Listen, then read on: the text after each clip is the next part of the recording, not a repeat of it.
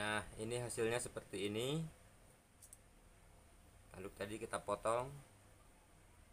Ini bisa kita manfaatkan buat aksesoris ya.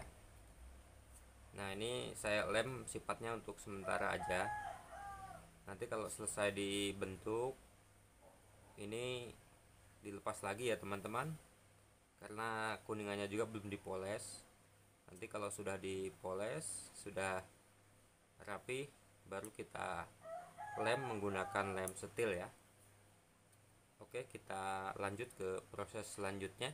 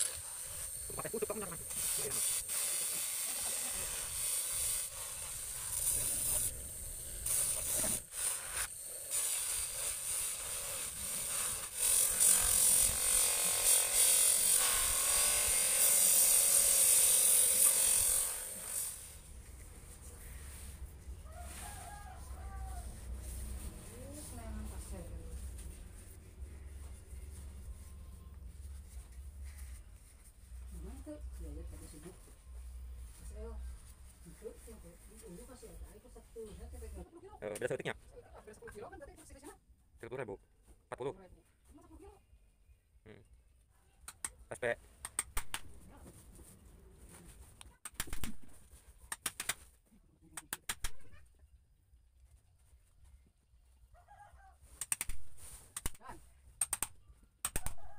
Kesehatan nyatanya?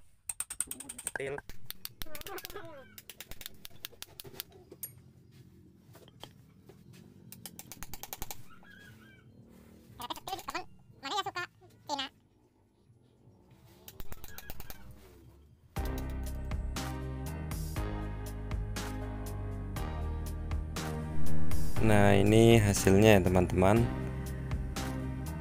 Membuat gagang pisau dari tanduk kerbau. Untuk finishing akhirnya ini natural ya hanya menggunakan kain dan batu hijau saja. Semoga tutorial yang saya buat bermanfaat. Dan jangan lupa tonton untuk video pembuatan sarungnya ya teman-teman. Terima kasih. Wassalamualaikum warahmatullahi wabarakatuh